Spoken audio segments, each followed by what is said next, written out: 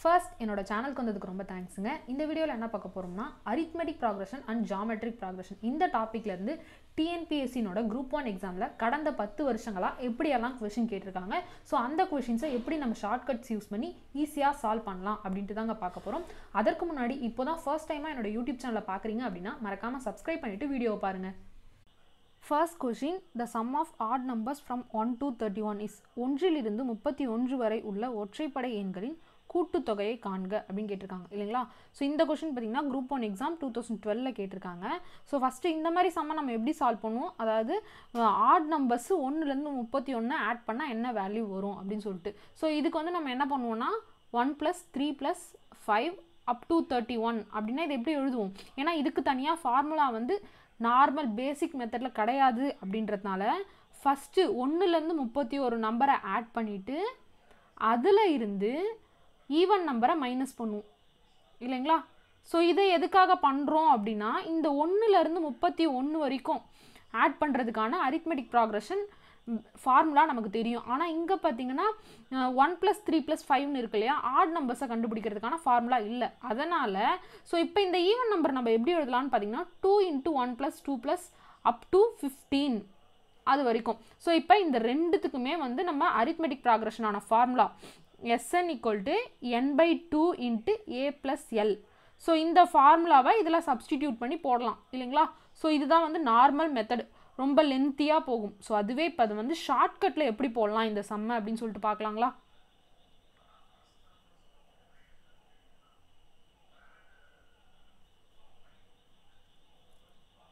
Okay இப்போ இந்த மாதிரி கொஷினை சம் ஆஃப் ஆட் நம்பர்ஸ் அப்படின்னு கேட்டுட்டாலே ஓகேங்களா ஸோ அதுக்கு நம்ம என்ன ஃபார்முலா அப் யூஸ் பண்ணணும் அப்படின்னா S N equal to N square so இந்த என் என்ன அப்படின்னு பார்த்தோம்னா நம்பர் ஆஃப் ஆட் நம்பர்ஸ் ஓகேவா இப்போ ஒன் டூ தேர்ட்டி ஒன்க்கு நம்ம கண்டுபிடிக்கணும்னு சொல்லியிருக்காங்க. ஸோ ஒன்றுலேருந்து முப்பத்தி ஒன்று வரைக்கும்னா எத்தனை நம்பர் வந்து ஆட் நம்பர்ஸாக இருக்கும்? ஃபிஃப்டீன் தான் இருக்கும். ஆல்டர்னேட்டிவ் நம்பர்ஸ் தான் ஆட் நம்பர்ஸாக இருக்க போகுது. அப்போ ஒன்றுலேருந்து முப்பத்தி ஒன்றுனா சாரி முப்பத்தி ஒன்றுனா பதினாறு வரும் இல்லைங்களா? ஸோ அப்போ பதினாறு நம்பர் வந்து ஆட் நம்பர்ஸ் இருக்குது அப்படின்றது நமக்கு தெரிஞ்சு போச்சு. ஸோ இதனோட சம்மை நம்ம கண்டுபிடிக்கணும்னா அதை அப்படியே ஸ்கொயர் பண்ணால் போதுங்க. ஸோ அப்போ சிக்ஸ்டீனை நம்ம ஸ்கொயர் பண்ணி பார்ப்போமா? Six six are thirty six six balance three one six are six so nine then sixteen six nine plus six fifteen so balance one two fifty six கிடச்சிருக்கு. இல்லைங்களா? இந்த கொஷினுக்கான ஆன்சர் வந்து option B two fifty six இப்போது இந்த shortcut மெத்தடில் பார்த்தீங்கன்னா one ஸ்டெப்பிலே முடிஞ்சிருச்சு. அதுவே இப்போ நம்ம நார்மல் பேசிக் மெத்தட் சொன்னோம். அது எவ்வளோ லென்த்தியாக போகுது? இந்த மாதிரி சின்ன சின்ன ஷார்ட்கட்ஸ் தெரிஞ்சால் போதுங்க. குரூப் ஒன் எக்ஸாம் பொறுத்தவரை நம்ம ஈஸியாக கிளியர் பண்ணலாம். ஸோ இந்த மாதிரி டைம் கன்சியூமிங் ஆகிற மாதிரி மெத்தட் யூஸ் பண்ணாமல் ஷார்ட்கட் மெத்தடை நம்ம யூஸ் பண்ணிக்கலாம். இப்போ கொஷினில் வந்து ஆட் நம்பர்ஸ் கேட்டுட்டாங்க.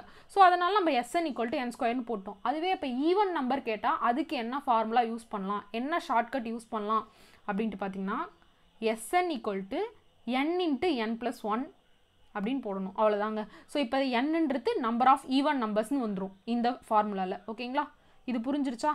இந்த கொஷின் வந்து group one exam two thousand டுவெலில் கேட்டிருக்காங்க. நம்ம நெக்ஸ்ட் கொஷின் போகலாமா second question in geometric series if the fourth term is two by three and seventh term is sixteen by eighty one then what is the first term of the series அதாவது ஒரு பெருக்கு தொடர் வரிசையின் நான்காவது உறுப்பு இரண்டு by மூன்று மற்றும் அதன் ஏழாவது உறுப்பு பதினாறு பை எண்பத்தி ஒன்று எனில் அந்த வரிசையின் முதல் உறுப்பு என்ன அப்படின்னு கேட்டிருக்காங்க. அதாவது நம்மக்கிட்ட ஃபஸ்ட்டு என்னென்ன விஷயம் சொல்லியிருக்காங்க அப்படின்னு பார்ப்போம். டி ஃபோர் சொல்லியிருக்காங்க. என்னன்னு சொல்லியிருக்காங்க? டூ பை த்ரீன்ட்டு அதே போல் செவன்த்து டேர்ம் டி செவன் வந்து சிக்ஸ்டீன் பை எயிட்டி ஒன்று கொடுத்துட்டாங்க. இப்போ நம்மக்கிட்ட கேட்டிருக்கிறது டி ஒன் அதை தான் கேட்டிருக்காங்க. இல்லைங்களா? ஸோ இது எந்த என்ன சீரியஸ்ன்னு சொல்லியிருக்காங்க? ஜாமெட்ரிக் ப்ராக்ரஷன் சொல்லியிருக்காங்க. ஸோ ஜாமெட்ரிக் ப்ராக்ரஷன்னா என்ன? ஏ ஏஆர் அதான் ஏஆர் ஸ்கொயர் இப்படி போகிற அந்த சீரியஸை தான் வந்து நம்ம ஜியாமெட்ரிக் ப்ராக்ரஷன்னு சொல்லுவோம். இல்லைங்களா? ஸோ இங்கே வந்து செவன்த்து டேர்ம் வரைக்கும் கொடுத்துருக்காங்க. அப்போ ஏஆர் பவர் சிக்ஸ் வரைக்கும் நம்ம போட்டுக்கலாம். இல்லைங்களா? ஸோ இப்போ மல்டிபிள்ஸ் ஆஃப் ஆர் அப்படின்னு இருக்கிறது தான் ஜியாமெட்ரிக் ப்ராக்ரஷன் இதுதான் ஃபார்மேட் இது வரைக்கும் நமக்கு தெரிஞ்சிருச்சு. இப்போ கொஷனில் நமக்கு என்ன கொடுத்துருக்காங்க? T four equal to two by த்ரீன்னு கொடுத்துருக்காங்க. அப்போ இதை நம்ம எப்படி எழுதலாம்? A R cube equal to two by three அப்படின்னு எழுதலாம். அதே போல் டி செவன் கொடுத்துருக்காங்க. அப்போ A R power six equal to eleven by eighty one அப்படின்ட்டு போடலாம். இல்லைங்களா? ஸோ இப்போ இது ரெண்டுத்தையுமே வந்து நம்ம கேன்சல் பண்ணுறோம்னு வச்சுக்கோங்க. ஸோ டிவைட் பண்ணுறோம்னு வச்சுக்கோங்க. என்ன ஆகும் ஆர் கியூப் ஸோ இந்த ஏஏ கேன்சல் ஆகிடும் தென் நெக்ஸ்ட்டு இங்கே என்ன இருக்குது மேலே ஆர் கியூப் இருக்குது கீழே வந்து ஆர் பவர் சிக்ஸ் இருக்கா? R cube by R power six equal to two by three divided by sixteen by eighty one இருக்கா ஸோ இப்போது டூவால் கேன்சல் பண்ணிங்கன்னா இங்கே எயிட் வந்துடும் இங்கே த்ரீ மட்டும் வந்துடும் ஸோ அதை அப்படியே நம்ம ரெசிப்ரோக்கில் எடுத்துக்கலாம். R cube equal to eight by eighty one into three இருக்கும் இல்லைங்களா? ஸோ இப்போ இந்த எயிட்டி ஒன்னையும் த்ரீயால் கேன்சல் பண்ணலாம். Two three are six so balance two twenty seven வந்துதா? Eight by twenty seven so இந்த க்யூப் வரணும்னா இங்கேயும் க்யூப் ஆக்கணும் இல்லையா? ஸோ இந்த எயிட்டுன்றது டூ க்யூப்னோட வேல்யூ டுவெண்ட்டி செவனுன்றது த்ரீ க்யூப்னோட வேல்யூ அப்போ R equal to two by three அப்படின்ட்டு கண்டுபிடிச்சிடலாம். இல்லைங்களா? அதே இப்போ நமக்கு கொஷினில் என்ன கேட்டிருக்காங்க? ஏவோட வேல்யூ கேட்டிருக்காங்க. அப்போது நம்ம இதை இந்த ஏஆர் க்யூப்னு நம்ம ஃபஸ்ட்டு பார்த்தோம் இல்லையா? A R cube equal to two by த்ரீன்ட்டு இதில் எடுத்துகிட்டு போய் சப்ஸ்டிடியூட் பண்ணலாம் இல்லைங்களா? A R cube equal to two by three அப்படின்னா ஏவோட வேல்யூ நம்ம கண்டுபிடிக்க போகிறோம் ஸோ ஆர் க்யூபை அந்த பக்கம் எடுத்துகிட்டு போயிடலாமா? ஆர் ஆரோட வேல்யூ டூ பை த்ரீனா அந்த பக்கம் போச்சுன்னா த்ரீ பை டூ ஆகுமா? ஓகே இப்போது two by three into three by two into three by two into three by two அப்படின்னு வருமா? ஸோ இப்போ இந்த டூவும் த்ரீயும் கேன்சல் பண்ணோன்னா இது மட்டும் போயிடும். அப்போ மேலே என்ன இருக்கும்? த்ரீ த்ரீ சார் நைனு கீழே வந்து two two are four nine by four இருக்கும். அப்போது ஏவோட வேல்யூ வந்து என்னது? நைன் பை ஃபோர் ஆன்சர் வந்து option D nine by four ஓகேங்களா ஸோ இந்த கொஷின் வந்து group one exam two thousand ஃபிஃப்டீனில் கேட்டிருக்காங்க. நெக்ஸ்ட் கொஷின் போகலாமா இது புரிஞ்சிருச்சா third question sum to n terms of an arithmetic progression is 2n square plus n. Then eighth term is ஒரு கூட்டுத்தொடர் வரிசையின் என் உறுப்புகளின் கூடுதல் two N square plus N எனில் அதன் எட்டாம் உறுப்பு எது? அப்படின்னு கேட்டிருக்காங்க. இல்லைங்களா? ஸோ இப்போ என்ன கொஷினில் கொடுத்துருக்காங்க? இது வந்து நம்ம ஷார்ட்கட்லேயே போடலாம். பேசிக்கில் போட்டால் ரொம்ப லென்த்தியாக போகும் இல்லையா? ஸோ எஸ்என் வந்து டூ என் ஸ்கொயர் ப்ளஸ் என்னு சொல்லியிருக்காங்க. இப்போ இதை நம்ம எஸ் ஒன் இதை வச்சு கண்டுபிடிக்கலாம் இல்லையா? எஸ் ஒன் என்னது? டூ இன்ட்டு அப்போ என்ன இடத்துல நம்ம ஒன் அப்ளை பண்ண போகிறோம் two into one ஸ்கொயர்னா two two plus one three கிடச்சிரும். அதே போல் டூ சப்ஸ்டிடியூட் பண்ணுறோன்னு வச்சுக்கோங்க. என்ன கிடைக்கும்? Two into two square plus two கிடைக்குமா? அப்போ two two two ஸ்கொயர்னா four four two are eight eight plus two ten வந்துருமா? இப்போது அரித்மெட்டிக் ப்ராக்ரஷனுக்கு தானே நம்ம பார்த்துட்ருக்கோம்.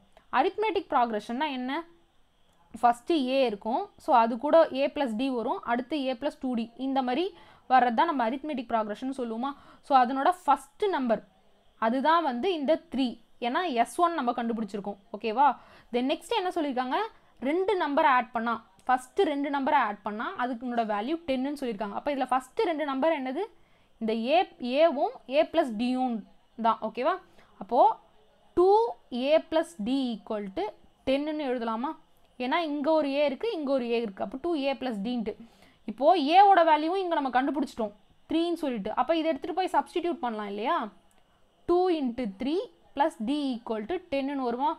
அப்போது D equal to ten minus சிக்ஸ்னு வரும். அப்போ டியோட வேல்யூவும் கிடச்சாச்சு. என்னன்ட்டு? ஃபோர்னு கிடச்சாச்சு. இப்போ நமக்கு கொஷினில் என்ன கேட்டிருக்காங்க பாருங்கள் எயித்து டேர்ம் என்ன அப்படின்னு கேட்டிருக்காங்க. அதாவது எஸ் எயிட் கேட்டிருக்காங்க. ஸோ எயித்து டேர்ம் என்னவா இருக்கும்? இந்த சீரியஸில் ஏ ப்ளஸ் செவன் டியாக இருக்கும் இல்லையா? ஏவோட வேல்யூ நமக்கு தெரியும் த்ரீன்னு சொல்லிட்டு. இப்போ டியோட வேல்யூவும் நம்ம கண்டுபிடிச்சிட்டோம் ஃபோர்னு சொல்லிட்டு. அப்போ S eight equal to three plus seven into four அப்படின்னு போடலாமா? செவன் ஃபோர்ஸா டுவெண்ட்டி எயிட் அப்போ three plus twenty eight add பண்ணால் என்ன வரும்? Thirty one so eighth term என்னது? இது எஸ் எயிட் கிடையாதுங்க டி எயிட் ஓகேங்களா எயித்து டேர்ம்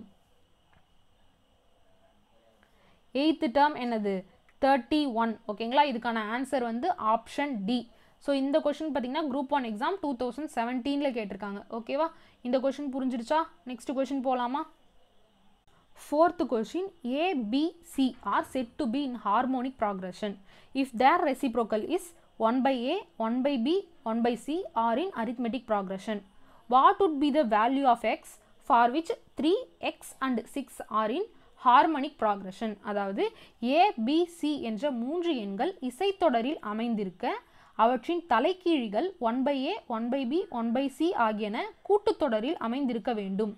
எக்ஸின் எந்த மதிப்பிற்கு த்ரீ எக்ஸ் சிக்ஸ் ஆகியன இசைத்தொடரில் அமையும் அப்படின்னு கேட்டிருக்காங்க. அதாவது இப்போ நமக்கு இந்த கொஷினை பார்த்தோன்னே நம்ம என்ன ஷாக் ஆகிடும் ஹார்மோனிக் ப்ராக்ரஷனா இது வந்து சிலபஸ்லே இல்லையே அப்படின்னு சொல்லிட்டு யோசிப்போம் இல்லைங்களா? ஸோ அதெல்லாம் விட்டுருங்க. இப்போ நம்ம கொஷினில் என்ன பேசிக்காக சொல்லியிருக்காங்க அப்படின்றத புரிஞ்சுக்கோங்க. இந்த one by A one by B one by C வந்து அரித்மெட்டிக் ப்ராக்ரஷனாக இருக்கும்னு சொல்கிறாங்க எப்போனா ஏபிசி வந்து ஹார்மோனிக் ப்ராக்ரஷனாக இருந்தா அப்படின்ட்டு சொல்லிட்டாங்க. அப்படி இருந்தால் இந்த த்ரீ எக்ஸ் சிக்ஸு ஓகேங்களா? இது மூணும் வந்து ஹெச்பின்னு சொல்லிட்டாங்க. அப்போது எக்ஸினோட வேல்யூ என்ன அப்படின்னு கேட்டிருக்காங்க. ஸோ இப்போ நம்ம கொடுத்துருக்கிறத வச்சே போடலாம். ஏபிசி வந்து ஹார்மோனிக் ப்ராக்ரஷன்னா அப்போது one by A one by B one by C வந்து அரித்மெட்டிக் ப்ராக்ரஷன் சொல்லியிருக்காங்க அப்போ இதை நம்ம அரித்மெட்டிக் ப்ராக்ரஷனாக ஈஸியாக மாற்றலாம் இல்லையா one by three one by X one by six இது என்னது அரித்மெட்டிக் ப்ராக்ரஷன் அப்படின்னு சொல்லிட்டாங்க ஸோ ஏபி அப்படின்னா நம்ம என்ன சொல்லுவோம் டிஃப்ரென்ஸ் வந்து ஈக்குவலாக இருக்கும் அப்படின்னு சொல்லுவோம் அப்போ one by X minus one by three equal to one by six minus one by X அப்படின்னு போடலாம் இல்லைங்களா ஸோ இப்போ இதை எக்ஸ் ஒரு பக்கம் கொண்டு போகலாமா அந்த பக்கம் போச்சுன்னா டூ பை எக்ஸ் வந்துருமா? அதே போல் one by six plus one by three வருமா? ஸோ இதை போட்டோன்னா இங்கே டூ த்ரீ பை சிக்ஸ் வருதா? ஸோ அகைன் இதை கேன்சல் பண்ணோன்னா ஒன் பை டூன்னு வரும். இப்போது எக்ஸ் அந்த பக்கம் போ எக் டூ நம்பர்ஸ் எல்லாம் இந்த பக்கம் போட்டுக்கலாம். Two into two equal to எக்ஸ்னு வந்துருமா? அப்போது எக்ஸ் ஈக்குவல் டு ஃபோர் அப்படின்னு வந்துருச்சு இல்லைங்களா? ஸோ சிம்பிள் நமக்கு என்ன தெரியும்? நமக்கு வந்து அரித்மெட்டிக் ப்ராக்ரஷன் தான் தெரியும். ஸோ அதை வந்து நம்ம இந்த சம்மில் வந்து அப்ளை பண்ண முடியுமா? கிவன் டேட்டா வச்சு அப்படின்ட்டு பார்க்கணும். கிவன் டேட்டா வச்சு நம்மளால் அப்ளை பண்ண முடியுது. அவ்வளோதான் நம்ம இதை வச்சு ஆன்சரை ஈஸியாக கொண்டு வந்துடலாங்க. ஸோ குரூப் ஒன் எக்ஸாம் பொறுத்தவரை நம்ம இந்த மாதிரி திங்க் பண்ணாலே போதும். ஈஸியாக வந்து சால்வ் பண்ணிடலாம். ஸோ இந்த மாதிரி திங்கிங் எபிலிட்டியும் நமக்குள்ளே இருக்கான்னு செக் பண்ணுறதுக்காக தான் இந்த மாதிரி கொஷினும் கேட்குறாங்க ஓகேங்களா இந்த கொஷினும் வந்து group one exam two thousand செவன்டீனில் தான் கேட்டிருக்காங்க. இது புரிஞ்சிருச்சு இல்லைங்களா? நெக்ஸ்ட் கொஷின் போகலாமா fifth question find the value of K if one cube plus two cube plus up to K cube equal to double four one double ஜீரோன்னு கொடுத்துருக்காங்க. அதாவது sum of cubic natural numbers அதை வந்து கேட்டிருக்காங்க. இல்லைங்களா? So இதுக்கு வந்து ஃபார்முலா இருக்குங்க. என்னன்னு பார்த்தோன்னா S N equal to N into N plus one by two the whole square ஓகேங்களா? ஸோ இதில் நம்ம சப்ஸ்டிடியூட் பண்ணாவே நமக்கு ஈஸியாக ஆன்சர் கிடச்சிரும். ஸோ இங்கே வந்து எஸ்என் என்னன்னு கொடுத்துருக்காங்க. டபுள் ஃபோர் ஒன் டபுள் ஜீரோன்னு கொடுத்துருக்காங்க. அந்த பக்கம் எண்ணுக்கு பதிலாக என்ன கொடுத்துருக்காங்க? கேன்னு கொடுத்துருக்காங்க. அதை தான் நம்ம கண்டுபிடிக்க போகிறோம் இல்லைங்களா? ஸோ அதை எடுத்து அப்படியே ஃபார்முலாவில் போடுவோம். ஸோ இப்போ இந்த ஸ்கொயர் அந்த பக்கம் போச்சுன்னா என்ன ஆகும்? ரூட் ஆகிடும் இல்லைங்களா? ஸோ ஃபோர் ஃபார்ட்டி ஒன் அப்படின்றது டுவெண்ட்டி ஒன் ஸ்கொயருங்க அப்போது டபுள் ஜீரோ இருக்குது அப்போ என்ன ஆகும்? டூ டென் ஆகிடும் இல்லையா? Two ten equal to K into K plus one வந்துருமா? பை டூ இருக்குது ஸோ இந்த டூ அந்த பக்கம் வச்சுக்கோங்க. என்னாகும்? டூ டென் இன்ட்டு டூன்னு இருக்கா? ஸோ இப்போ கேவை நம்ம மல்டிப்ளை பண்ணால் கே ஸ்கொயர் ப்ளஸ் கேன்னு வருமா? ஸோ இதை எடுத்து எழுதணும்னா K square plus K minus four twenty equal to zero அப்படின்னு வந்திருக்கா. ஸோ அப்போ இந்த ஃபோர் டுவெண்ட்டிக்கு நம்ம ஃபேக்ட்ரிசேஷன் பண்ணுவோமா? ஸோ இதை நீங்கள் பார்த்தாலே தெரியும். டுவெண்ட்டி ஒன் இன்ட்டு டுவெண்ட்டின்னு நம்ம அப்படியே போட்டுடலாம். போன ஈக்குவேஷன் வச்சு பார்த்தாவே வந்துடும் ஸோ ஆட் பண்ணால் ப்ளஸ் வரணும். மல்டிப்ளிகேஷன் பண்ணால் மைனஸ் வரணும்னா ப்ளஸ் டுவெண்ட்டி ஒன் மைனஸ் டுவெண்ட்டின்னு இருக்கா? ஸோ இதை எடுத்து எப்படி எழுதுவோம்? K plus twenty one into K minus twenty equal to zero அப்படின்னு வருமா? அப்போது இது வந்து என் நேச்சுரல் நம்பர்ஸ் அப்படின்னு சொல்லிட்டாங்க. அப்போ கேவோட வேல்யூ வந்து பாசிட்டிவாக மட்டும்தான் இருக்கும். அப்போ கேவோட வேல்யூ என்னது? டுவெண்ட்டி இல்லையா? ஸோ அப்போ இந்த கொஷினுக்கான ஆன்சர் வந்து ஆப்ஷன் ஏ டுவெண்ட்டி ஓகேங்களா இந்த கொஷின் புரிஞ்சிடுச்சா? ஸோ இந்த கொஷின் பார்த்தீங்கன்னா group one exam twenty twenty one so லாஸ்ட்டாக நடக்கப்பட்ட குரூப் ஒன் எக்ஸாமில் தான் கேட்டிருக்காங்க. Sixth question if A equal to two power sixty five and B equal to two power sixty five plus two power sixty four plus up to two power zero which of the following is true அதாவது A equal to two power sixty five மற்றும் B equal to two power sixty five plus two power sixty four plus up to two power zero என கொடுக்கப்பட்டுள்ளது எனில் பின்வருவனவற்றுள் எது உண்மை அப்படின்னு கேட்டிருக்காங்க. So இதை பார்த்த உடனே பவர்ஸில் இருக்குது இதெல்லாம் நம்ம கால்குலேட் பண்ணுறதுக்கு ரொம்ப கஷ்டம். அப்படியெல்லாம் நினைக்க வேணாங்க. ஜஸ்ட்டு கொடுத்துருக்கிறத ஃபஸ்ட்டு நம்ம எடுத்து எழுதிப்போமே. A equal to two power sixty ஃபைவ்னு கொடுத்துட்டாங்க. தென் நெக்ஸ்ட் என்ன கொடுத்துருக்காங்க? B equal to two power sixty five plus two power sixty four up to two power zero அப்படின்னு கொடுத்துருக்காங்க. இல்லைங்களா? ஸோ இப்போது இதை நீங்கள் நல்லா பாருங்களேன். இது வந்து எப்படி இருக்குன்னா டூவோட மல்டிபிள்ஸாக இருக்குது அப்போது இது என்னது? இது வந்து ஜாமெட்ரிக் ப்ராக்ரஷன் அப்படின்ட்டு சொல்லலாமா? ஓகே அப்போது இந்த டேர்ம்னோட ஏ என்னவாக இருக்கும்? First term two power zero then next R என்னவாக இருக்கும்? டூவோட மல்டிபிள்ஸ் இல்லைங்களா? அப்போ ஆர் ஈக்குவல் டு டூன்னு போடலாம். தென் நெக்ஸ்ட்டு என்னு எங் இங்கே வரைக்கும் இருக்குது சிக்ஸ்டி ஃபைவ் வரைக்கும் இருக்குது அப்போ என் வந்து சிக்ஸ்டி ஃபைவ் இல்லைங்களா? ஸோ இப்போ வந்து நம்ம இதை வச்சு சம் ஆஃப் என் டேர்ம்ஸ் ஈஸியாக கண்டுபிடிக்கலாம். S N equal to A into R power N minus one by R minus one அப்படின்றது ஃபார்முலாவா ஸோ இதில் சப்ஸ்டிடியூட் பண்ணோன்னா ஏன்றது டூ பவர் ஜீரோ என்னன்றது two power sixty five minus one divided by two minus one வந்துருச்சா? So two minus ஒன்னா ஒன்று மேலேயும் டூ பவர் ஜீரோன்றது ஒன்று ஸோ இந்த ஒன் அப்படியே விட்டுட்டோம்னா ரிமைனிங் இருக்கிறது two power sixty five minus one அப்படின்றது மட்டும்தான். இல்லைங்களா? இப்போ நம்ம கொஷினில் என்ன கொடுத்துருக்காங்கன்னா டூ பவர் சிக்ஸ்டி ஃபைவ்ன்றது ஏன்னு கொடுத்துட்டாங்க. அப்போது இதை நம்ம எப்படி எழுதலாம்? B equal to A minus one அப்படின்னு எழுதலாமா? அப்போ இதுலேருந்து என்ன தெரியுது? B is sorry A is larger than B by one அப்படின்ட்டு போடலாம். இல்லைங்களா? ஸோ இதுதான் விஷயம். இதை மட்டும் நம்ம புரிஞ்சுக்கிட்டோன்னா ஈஸியாக வந்து இந்த செம்ம சால்வ் பண்ணிக்கலாம். கொடுத்துருக்கிறத வச்சு நமக்கு என்ன தெரியுமோ அதை வந்து அப்ளை பண்ணுங்க. ஓகேங்களா ஸோ இந்த கொஷின் வந்து ரீசெண்டாக நடக்கப்பட்ட குரூப் ஒன் எக்ஸாமில் கேட்டிருக்காங்க. இப்போதாங்க குரூப் ஒன் எக்ஸாமில் லாஸ்ட் பத்து வருஷத்தில் இத்தனை கொஷின்ஸ் மட்டும் தான் கேட்டிருக்காங்க. ஸோ கொஷின் எல்லாம் எப்படி கேட்டிருக்காங்கன்னு பார்த்துட்டிங்களா? ஸோ அந்த கொஷின் எல்லாம் எப்படியெல்லாம் சால்வ் பண்ணலாம் அப்படின்னு புரிஞ்சிருச்சுங்களா? ஸோ இதில் உங்களுக்கு ஏதாச்சும் டவுட்ஸ் இருந்துச்சுனாலும் கமெண்ட்டில் லீவ் பண்ணுங்கள் இல்லை இதை வந்து வேறு ஏதாச்சும் மெத்தடில் வந்து ஈஸியாகவும் ட்ரை பண்ணலாம் அப்படின்னு உங்களுக்கு தெரிஞ்சிருந்தாலும் கமெண்ட்டில் லீவ் பண்ணுங்கள் தெரியாதவங்க தெரிஞ்சுப்பாங்க. இந்த வீடியோ இதோட முடிஞ்சிருச்சு. உங்களுக்கு இந்த வீடியோ உண்மையாகவே யூஸ்ஃபுல் அப்படின்னு தோணுச்சுன்னா லைக் பண்ணுங்கள் உங்கள் ஃப்ரெண்ட்ஸ் அண்ட் ஃபேமிலியில் யாரெல்லாம் வந்து டிஎன்பிஎஸ்சி குரூப் ஒன் எக்ஸாமுக்கு ப்ரிப்பேர் ஆகிட்டு இருக்காங்களோ அவங்களுக்கும் இந்த வீடியோ ஷேர் பண்ணுங்கள் இது போல் நான் அப்லோட் பண்ணுற வீடியோஸ் எல்லாம் உங்களுக்கு நோட் நோட்டிஃபை ஆகணும் அப்படின்னு நினச்சிங்கன்னா என்னுடைய சேனலை சப்ஸ்கிரைப் பண்ணுங்கள் கூடவே பக்கத்தில் இருக்க பெல் ஐக்கனையும் ப்ரெஸ் பண்ணிக்கோங்க. ஸ்டே ஃபோக்கஸ்ட் பாய்